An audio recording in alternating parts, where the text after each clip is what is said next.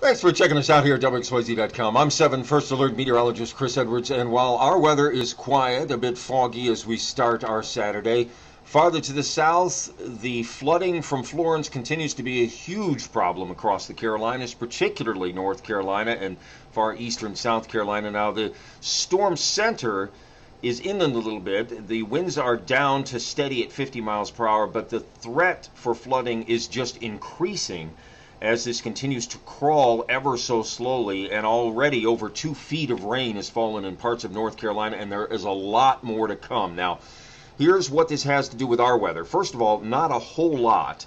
But as the storm creeps westward, it then starts to turn to the north. By early tomorrow afternoon, the center of the storm will be in western North Carolina.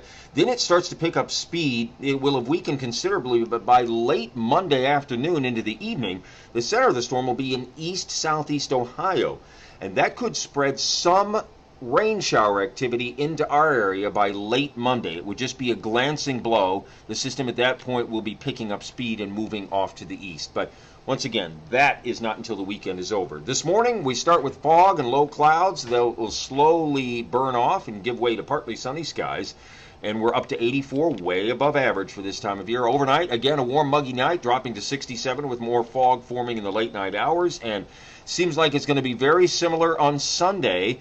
Fog early, then more sunshine, an easterly wind at 5 to 10 miles per hour. The change comes on Monday with more cloudiness hanging around and that chance of a shower during the afternoon hours especially. Then a separate system brings us a slight chance for a shower storm back into the mid 80s on Tuesday. The lower humidity day, the best chance for that looks to be Wednesday. We get a little break from the muggies midweek, and then they start to build in once again before another front moves through Thursday night into early Friday and brings us a chance of showers. Whatever you have planned, I hope you continue to stay close to us. If you're headed to the big house, it's going to be warm, it's going to be muggy. And it's going to be a fine day for football if you like it on the hot side. Of course, stay with us at WXYZ.com all weekend long. We'll keep you updated on Florence and its changes and our weather as well.